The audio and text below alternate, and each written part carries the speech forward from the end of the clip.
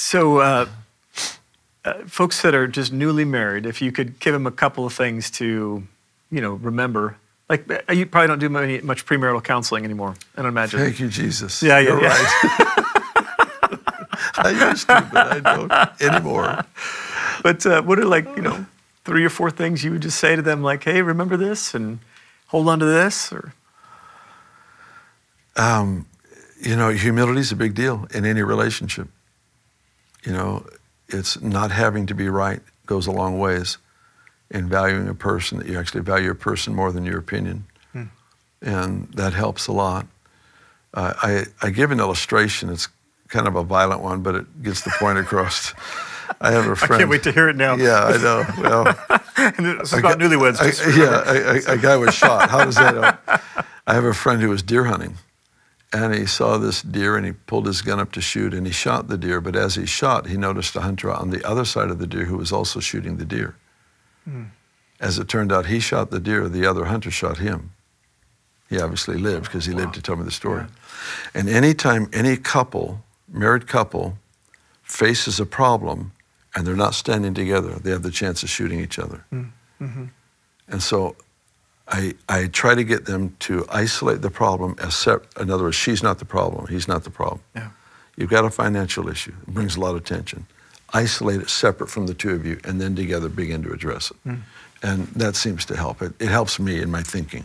How can we address this Yeah. situation? So how can I fix yeah, you? Yeah, in- in the- exactly. Yeah, Yeah. yeah, My goal isn't to change you. My goal is we've got this added pressure in our life. It's our neighbor. It's our finances. It's our relative. It's the in-laws. It's you know whatever it might be Yeah, in yeah. in everyday homes. And so together, let's just see if we can we can just acknowledge it and face it together and give each other help and wisdom. Mm-hmm. So humility would be one of the ways that you would advise newlyweds, or, or I'm sure it works all throughout marriage. Totally. Actually, I know it does because I, Yes. I live that way. Yes. But the uh, what else would you would you say to folks Well, starting out? the you know the main thing is is passionate, practical love for God. Mm. I mean, it, it really it really does. You know, if I love God with all of my heart, there's more love to love my wife with than if I make her number one. Mm-hmm. If I make her number one, it puts her in a in a in an ugly position she she can't fill. Yeah. But if I if I really give myself to honor the Lord, then what I'm going to do is I'm my decisions are really going to be for her according to what God values. Mm-hmm. And you know that's that's what every wife wants anyway. Yeah. It's what every husband wants anyways. They want they want they want to be valued authentically for who they are, not just for what I can make you to become.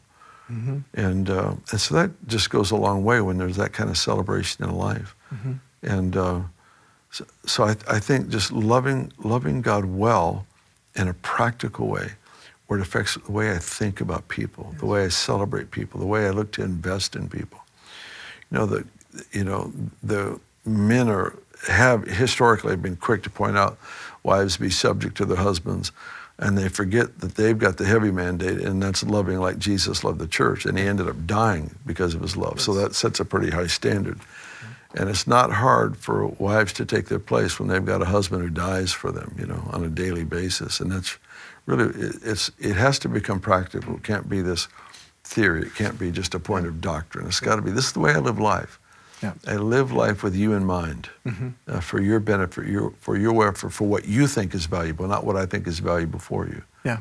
Yeah. And so I, I, I think that's I think that's helpful and I think it's practical.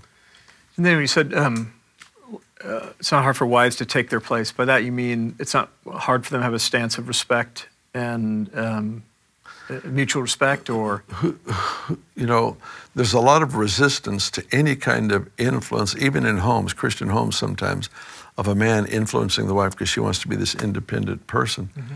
You know, they're better as a team.